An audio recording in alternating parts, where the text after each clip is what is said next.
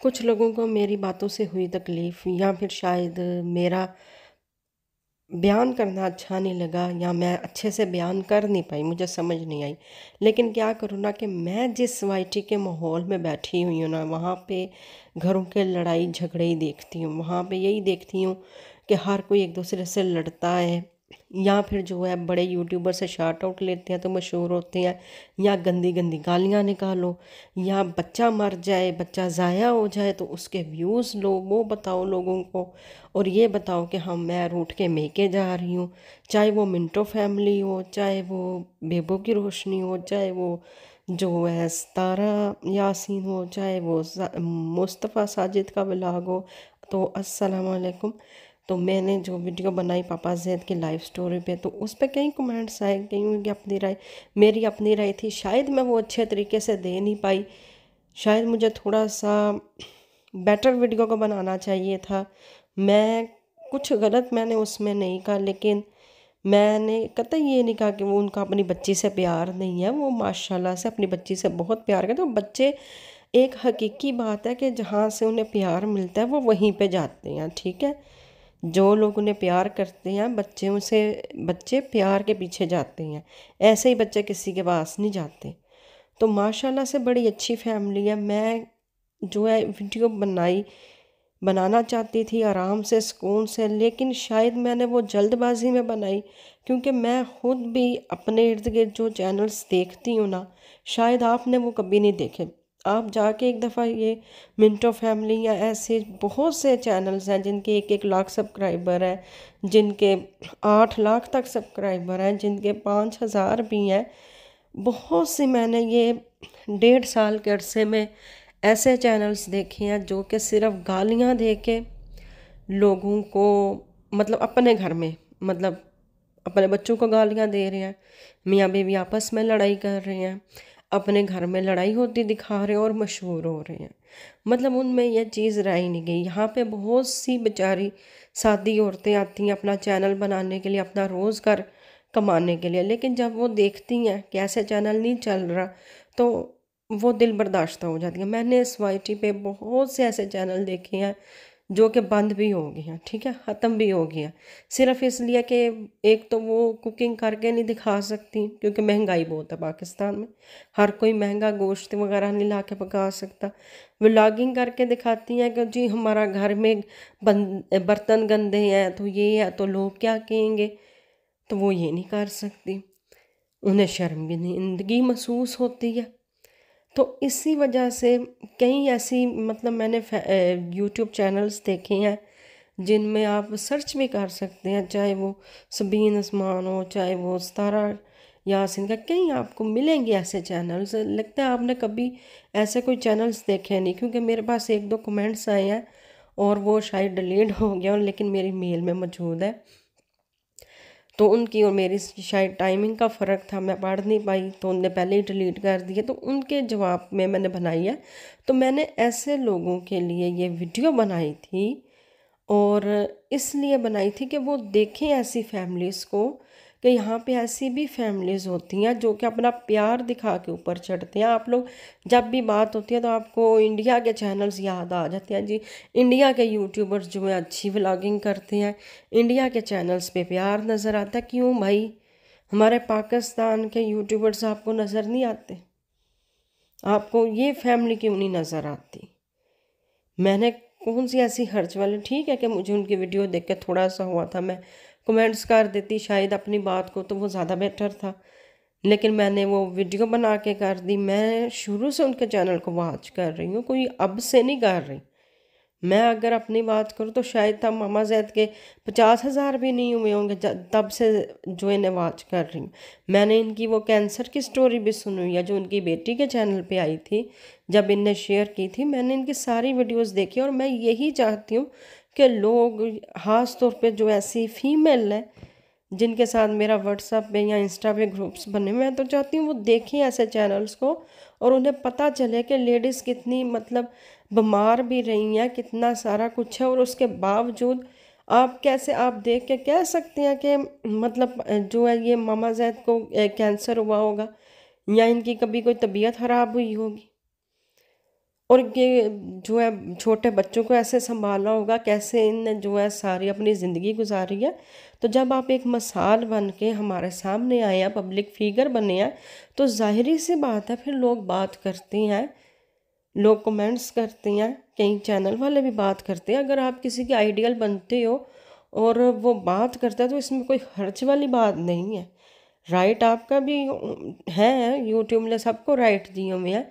अगर पापा जैद को मेरी कोई बात बुरी लगे तो वो क्या किसी भी चैनल के ऊपर अगर आप बात करते हो, उसको बुरी लगे, मैं जानती हूँ कि वो स्ट्राइक दे सकते हैं, वो भेज सकते हैं, कह सकते हैं, लेकिन मुझे नहीं समझ आती कि कोई अपने पे बात करने से क्यों मना करता है। देखो, कोई बुरी बात हो तो बात समझ में आती है, लेकिन जब आप एक पब्लिक फिगर हो तो होनी चाहिए, जब आपने अपनी लाइफ स्टोरी शेयर की है तो उसको होना चाहिए ऐसा और वो स्टोरी है भी लोगों के लिए मसाल। मैं कहती हूँ कि बहुत सी ऐसी औरतों के लिए मसाल है जिन्हें सिर्फ़ ये पता चलता है कि जी हम शुगर के मरीज़ हैं या हमें जो है पीसीओ की बीमारी होगी है तो अब हम बच्चे कैसे संभालेंगी, हम बच्चे कैसे पालेंगी, या वो डिप्रेशन में चली जाती हैं, या वो कि ये काम नहीं करना, हमने सजना संवरना नहीं है, उन्हें पता चलना चाहिए। वो देखें मामा जैद को कि वो कितनी कितनी बड़ी बीमारियों से निकली और किस तरह से उन्हें अपने आप को फिट रखा हुआ है, किस तरह से वो नज़र आती हैं, कैसे वो हर एक खाना बनाती हैं, किस तरह से वो फ़ंक्शन अटेंड कर रही हैं, किस तरह से वो अपनी ज़िंदगी को मैनेज कर रही हैं। तो इसमें मेरे ख्याल से कोई खर्च वाली बात नहीं है। और रह गई बात अगर कोई और ऐसी बात हुई हो तो आप मुझे बता सकते हैं। देखिए, आपने कमेंट्स करना है तो आप मुझे उसमें से पॉइंट उठा के बता दें कि ये आपका गलत है, वो गलत है। हो सकता है कि बातें करते करते मुझसे कोई फ़िक्रा निकल, क्योंकि मैं पंजाबी पर्सन हूँ, आप उर्दू की ठहरी तो हो, बाज़ दफ़ा जो उर्दू स्पीकर होते हैं, उन्हें पंजाबी के कई फ़िक्रों की समझ गलत तरीके से आती है, और मतलब हमारा कहने का कुछ होता है और अगला समझ कुछ चाहता है, बज़ दफ़ा ऐसा भी हो जाता है। तो आप उस हवाले से पॉइंट करें, बताएँ ज़रूर। तो बाकी आपकी भी अपनी राय है, लेकिन मेरी जो राय थी, मेरी यही राय थी कि मैं ऐसी लेडीज़ को चाहती हूँ कि वो देखें ऐसे चैनल को और इनसे सबक हासिल करें और अच्छी खासी मतलब इनने अपने चैनल को ग्रो किया, कितने अच्छे से किया ग्रो ना कोई रो, रोना पीटना। आप देखो इनकी अगर आप व्लॉगिंग जाके देखो, ये भी तो घर का दिखाते हैं, ये सफ़ाई हो रही है। यहाँ पे ये पर्दे लगा रहे हैं, ये कर रहे हैं। लेकिन आम रूटीन में अगर हम किसी से बोलें तो वो कहते हैं, नहीं जी, हम ऐसा नहीं दिखा सकते, हम दिखाएँगे तो लोग क्या बातें कहेंगे? क्योंकि जब एलवियाँ होती हैं तो इन्हीं एलवियों में फिर ये सारे यूट्यूबर्स बैठ के एक दूसरे को ट्रोल करती हैं कि देखा उसने आज अपना ये व्लाग चढ़ाया था, बर्तन धो रही थी, कितने गंदे काले, बंदा पूछे, इस तरह की बातें करने का क्या फ़ायदा है? सबके होते हैं, जिन घरों में जो लोग खाना पकाते हैं, सबके होते हैं। तो इसीलिए मैंने जो है ये फैमिली का भी निकाला था कि ये भी अपनी एक फैमिली ब्लॉगिंग दिखाते हैं, जिसमें बर्तन भी धोते हैं, खाना भी पकाते हैं, सारा कुछ होता है। तो इसमें कोई हर्ज वाली बात नहीं है। अल्लाह ताला इनके प्यार को नज़र बद से बचाए और माशाल्लाह से बच्ची को भी इनसे बहुत प्यार है, इन्हें भी है। मैं कोई मतलब उनके अंगेस्ट नहीं हूँ। मेरी तो अपनी मतलब आइडियल फैमिली है और मेरी बहुत सी मैंने मतलब बातों का सबक भी हासिल किया इनकी फैमिली को देख के कि किस चीज़ को किस तरह से मैनेज करना है, किस चीज़ को किस हवाले से करना चाहिए। तो बाकी आप लोग इसके बारे में क्या राय, आप लोग भी मुझे ज़रूर बताएँ। लेकिन प्लीज़ आप ऐसे बैड कमेंट्स करके एक चीज़ को गलत रंग देने की कोशिश ना करें। मेरे से अगर कोई गलती होगी तो मैं डेफिनेटली इनसे माफ़ी ज़रूर मांग लूँगी और मुझे कोई शर्म भी नहीं आएगी। और मेरी तो ज़िंदगी की अपनी एक ख्वाहिश भी है। अगर मेरा ये चैनल ना भी होता तो भी। ठीक है, अब क्या है ना कि चैनल है ना। अब अगर ये कहूँगे मेरी ख्वाहिश है कि मैं ज़िंदगी में कभी उनसे मिलूँ, मैं अगर कभी कैनेडा जाऊँ तो उनसे ज़रूर मिलूँ। तो सब ये कहेंगे, जी, इन्हें व्यूज़ चाहिए। क्योंकि यहाँ पे सबसे बड़ा इशू ये आ जाता है। यहाँ पे सबसे बड़ा एक तो इशू ही इसी चीज़ का आ जाता है सबको कि शायद ये व्यूज़ के चक्कर में है। लेकिन नहीं, ऐसा नहीं है। ठीक है मेरे पास एक पूरी लिस्ट है और मैं इन लोगों से मिलूँगी भी ऑफ़ द कैमरा मिलूँगी, ना अपने चैनल पे बताऊँगी और ना इनसे कहूँगी कि अपने चैनल पे बताएँ। ठीक है? तो मेरी लिस्ट में जो लोग हैं, मैं उन पर वीडियोस बनाऊँगी, किसी को बुरा लगता है, बेशक लगे, किसी को अच्छा लगता है तो मैं तो चाहूँगी बल्कि उन्हें अच्छा लगे, वो ऐसे अच्छे चैनल्स पे जाएँ, ऐसे अच्छे चैनल्स पे जाके देखें कि लोग कैसे अच्छे से ज़िंदगी मैनेज करते हैं हाल मतलब ये रोन पिटन, ये करना, वो करना, इस तरह से जो है चैनल नहीं चलते हैं। चैनल हो सकता है चल जाते होंगे, क्योंकि मैंने बहुत से लोगों को देखा है। लोग बच्चा मरने पे, किसी के मरने पे वीडियोस बनाते हैं, अपलोड करते हैं मिलियन व्यूज़ ले जाते हैं, चैनल चलते हैं, लेकिन आपकी ज़िंदगी नहीं चलती। ठीक है, अच्छे से चैनल्स बनाएँ, ताकि कल को जब यही छोटे बच्चे बड़े हो के ये वीडियोस देखें तो वो एक सबक हासिल करें या कोई और आपकी वीडियो देखे तो वो सबक हासिल करे, ठीक है? तो उसको पता चले कि माशाल्लाह से क्या अच्छी बात किसी ने की है, क्या अच्छी फैमिली है, क्या अच्छा जो है किसी ने व्लॉग बनाया, किसी को कोई सबक हासिल हो। और मैं यहाँ पे शायद अपनी उस वक्त बात जो है अच्छे से कह ही नहीं पाई। मेरा कहने का भी तो यही मतलब था ना कि आप जो है, माशाल्लाह से अपनी जो पोती है, उसको इतना प्यार करते हैं। आप उससे अच्छे से रहें, वो आपके साथ अटैच है। तो बस और क्या चाहिए? बहुत से मैंने साथ में दूसरी फैमिलीज़ की मिसाल दी तो शायद वो किसी को लगा कि मैं इनको कहने की कोशिश करूँ तो ऐसा नहीं है। आप, मैंने बहुत से चैनल्स के नाम लिए, आप उन पर जाके देखें, जब मैं दूसरी फैमिलीज़ को देखती हूँ। हर किसी के पास हर एक चीज़ नहीं होती, ठीक है? और जब आपके पास किसी चीज़ की कमी होती है तो आप उसको खुशी से किस तरह से बेटर बनाते हैं यह आप पे डिपेंड करते हैं। और मैंने पापा जैद की फैमिली में, जब मैंने इनकी लाइफ स्टोरी सुनी थी तो मैं हैरान रह गई थी कि मैं मतलब पाँच छः महीने से इनका चैनल देख रही हूँ तो मैं तो सोच भी नहीं दे सकती कि ये मतलब ऐसे बर्फ़बारी में इस तरह से वो जो है, वो अखबार बेच रहे हैं या जो है मामा जैद हॉस्पिटल में थी तो पापा जैद जो है पाकिस्तान चले गए।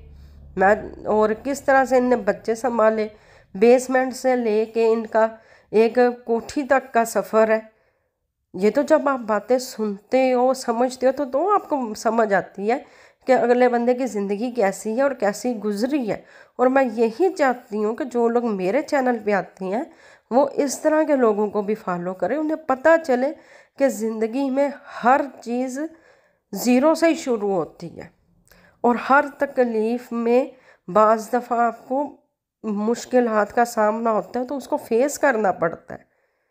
और मैंने यही कहना चाह रही हूँ कि ये जिस तरह से आपने पहले अपनी ज़िंदगी की सारी की हैं, इनको भी करें, ठीक है कि माशाल्लाह से आप काफ़ी अच्छी फैमिली हैं।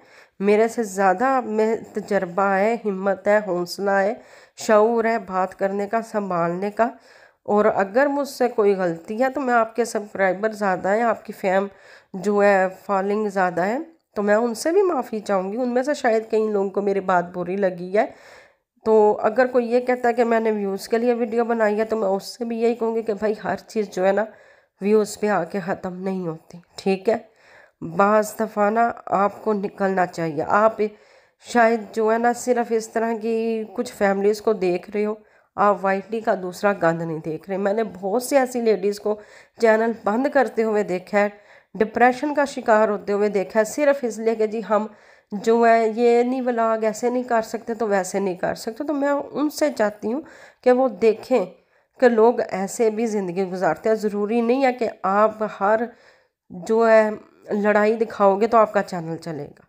आप अपने घर की सेटिंग करना दिखा सकते हो। आप अपने घर में जो है ये सफ़ाई करना दिखा सकते हो। बहुत सी चीज़ें दिखाई जाती हैं। और बहुत सी मतलब मियाँ बीवी में जो होती है, लड़ाइयाँ होती हैं। क्या पापा जैद और मामा जैद की नहीं होती? सब इन्हें कमेंट्स में आके टोम एंड जेली कहती हैं, इस तरह की कोई आपकी प्यार भरी नोक चोक हो तो आप उसको चैनल पे लेके आओ। ठीक है? इस तरह की कोई प्यार भरी नोक झोंक है तो आप उसे चैनल पे लाओ। उस तरह से बेशक चाहे वो टॉम एंड जेली वाली लड़ाइयाँ दिखा लो, लेकिन कई दफ़ा तो सीरियसली होती हैं। सिर्फ़ इसलिए कि इससे हमारे व्यूज़ बढ़ जाएँगे। तो मुझे लगता है कि मैना जी, आपने जो मैसेज कर करके मुझे डिलीट किया ना, आप शायद कुछ ऐसे चैनलों से वाकिफ़ ही नहीं हैं, जो कि सिर्फ़ व्यूज़ के लिए पता नहीं क्या क्या कर रहे हैं। तो शायद आपको ज़रा थोड़ा सा ऐसे चैनलों को देखना चाहिए, और जब आप ऐसे चैनलों को देखें या कोई छोटी यूट्यूबर्स हैं जिनके अभी अभी चैनल्स मोनोटाइज हुए उन बेचारियों को जाके देखें कि जो किस तरह से डिप्रेशन का शिकार हो रही हैं। तो अगर मैं किसी को एक मिसाल दे रही हूँ कि भाई, ये एक अच्छी फैमिली है, इसको कॉपी करें तो क्या